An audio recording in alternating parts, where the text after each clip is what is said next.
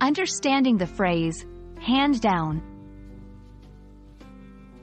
Hello, language enthusiasts. Today, we're going to dive deep into a commonly used English phrase, hand down. By the end of this video, you'll know exactly when and how to use this expression. Let's get started. Before we dive into its idiomatic usage, let's understand its literal meaning. When you think of the words hand and down, you might imagine the act of giving something to someone by moving your hand downwards. And that's precisely it. Hand down can literally mean passing an object from one person to another, typically from an older person to a younger one or from someone in a higher position to someone in a lower position. Example, Sarah handed down the book to her little brother.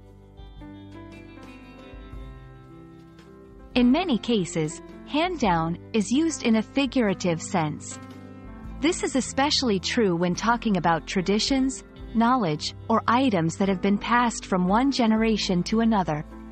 Traditions and knowledge. When used in the context of traditions or knowledge, hand down means to pass on cultural practices, stories, or teachings. Example, my grandmother handed down her cookie recipe to my mother, who handed it down to me.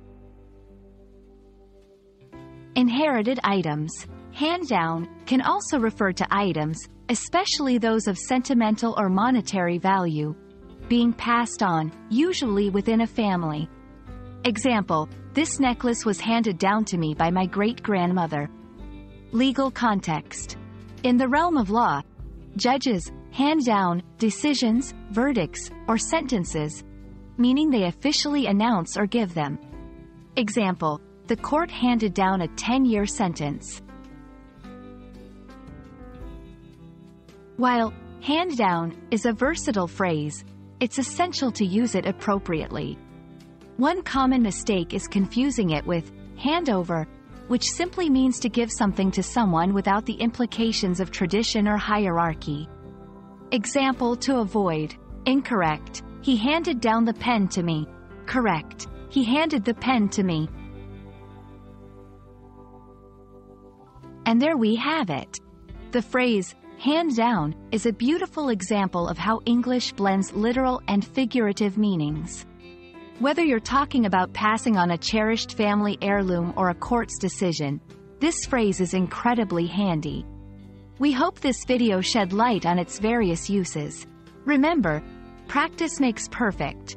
So try using hand down in your conversations. Until next time, happy learning!